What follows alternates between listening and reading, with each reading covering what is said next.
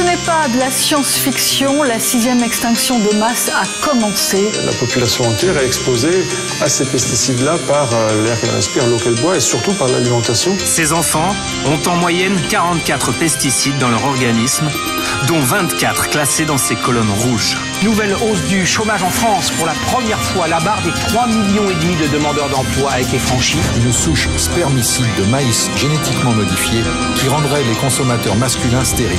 Jusqu'où ces gens sont prêts à aller pour atteindre leurs objectifs 1000 milliards de dollars. C'est le montant record des dividendes versés dans le monde en 2014.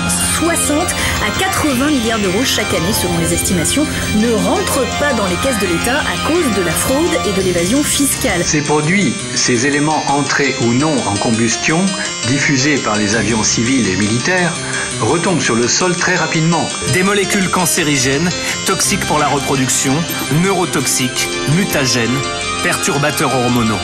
Entassés à bord d'un vieux chalutier comme celui-ci, 700 migrants ont trouvé la mort. Que pouvons-nous faire pour ces migrants? Je crois que la réponse est rien. L'élite et les entreprises qu'elle dirige n'ont pas seulement pris le contrôle de notre énergie, de nos réserves en nourriture, de notre éducation, de nos services de santé, mais aussi de quasiment tous les aspects de nos vies. On a délibérément tiré un voile, un rideau opaque entre les gens et leurs aliments. Beaucoup de banques créées représentent toujours le lobby le plus puissant au Congrès. Et franchement, on peut même dire que cet endroit leur appartient. Et le remboursement signifie que les pauvres ne bénéficieront pas de l'éducation, de la santé et des autres services sociaux. Quand on s'adresse au cerveau reptilien des gens, on, on, on les scotche. Et, la télévision s'adresse au cerveau reptilien des gens, pas à leur cortex qui leur permet de penser, de réfléchir et de comprendre.